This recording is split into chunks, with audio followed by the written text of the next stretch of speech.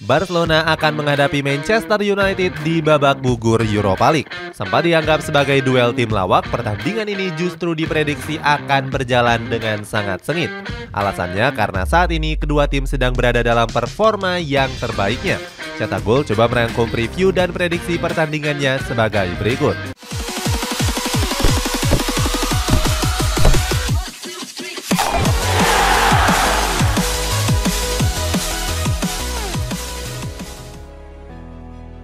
Kebangkitan performa.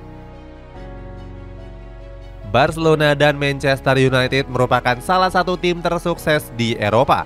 Sayangnya dalam beberapa musim terakhir performa mereka sempat anjlok di kompetisi domestik maupun Eropa.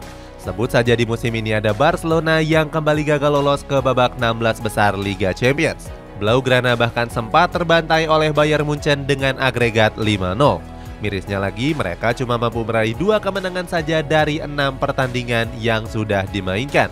Hasil tersebut membuat Blaugrana terpaksa turun kasta ke Europa League. Ini merupakan musim kedua Barcelona tampil di kompetisi Liga Malam Jumat tersebut. Berbeda dengan Barcelona, Manchester United memang sudah terlebih dahulu bermain di ajang Europa League. Alasannya karena pada musim lalu mereka cuma bisa finish di peringkat 6 klasemen saja.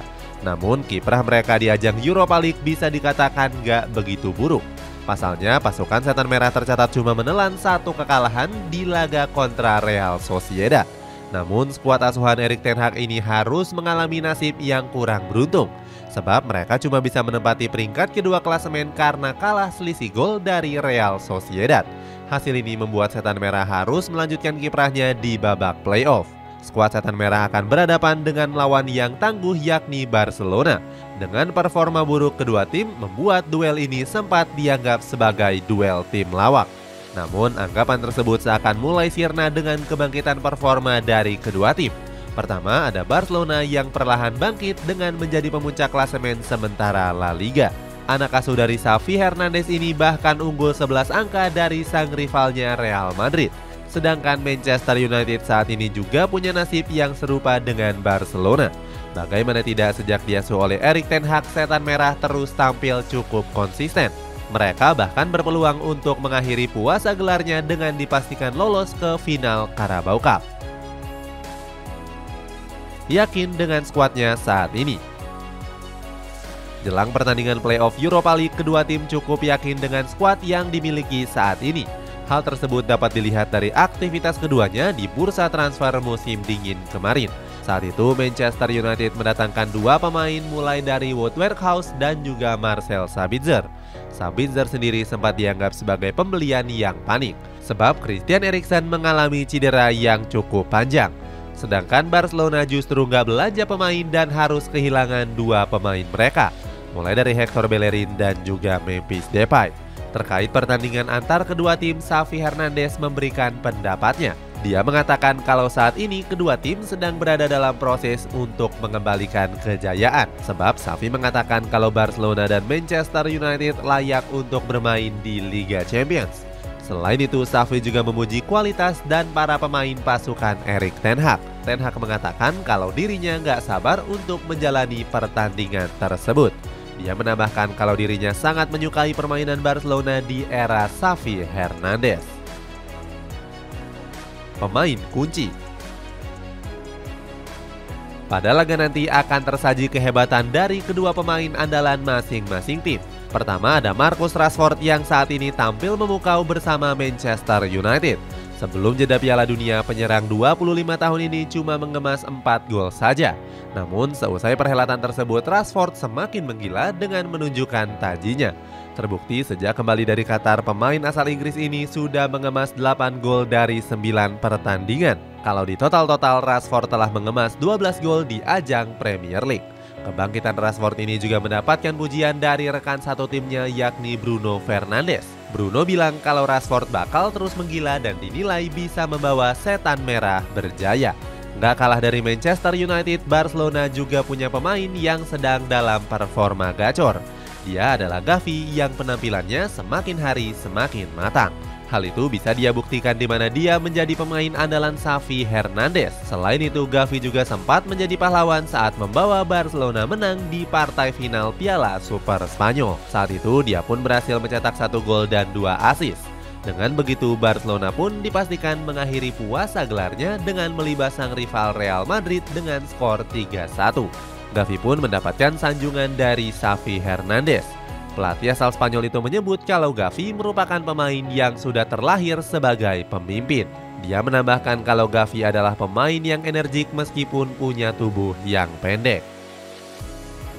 Prediksi skuad Barcelona diprediksi bakal tampil pincang pada pertandingan kali ini.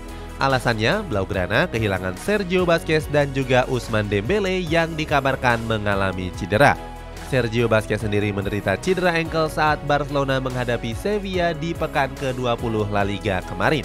Saat itu sang kapten cuma tampil selama 8 menit saja. Pemain Spanyol ini terpaksa mengakhiri laga lebih cepat dan digantikan oleh Frank Casey. Selanjutnya ada Dembele yang dikabarkan mengalami cedera hamstring. Winger asal Prancis itu mendapatkan cedera tersebut saat berhadapan dengan Girona akhir bulan lalu. Saat itu Dembele cuma bermain selama 26 menit dan digantikan oleh Pedri. Kemudian dari kubu Manchester United juga tanpa diperkuat oleh beberapa pemainnya, mulai dari Christian Eriksen, Scott McTominay, Donny van de Beek sampai dengan Anthony Martial. Yang sangat disayangkan tentunya adalah kehilangan Christian Eriksen. Padahal pemain asal Denmark ini merupakan gelandang andalan Erik Ten Hag di lini tengah skuad Setan Merah. Erikson dikabarkan absen selama tiga bulan karena mengalami cedera ankle. Cedera itu didapatkan di ajang Carabao Cup saat dirinya ditekel keras oleh bomber Reading yakni Andy Carroll. Prediksi pertandingan Berkaca dari kekuatan skuad, Manchester United lebih diunggulkan dengan hilangnya beberapa pemain kunci Barcelona.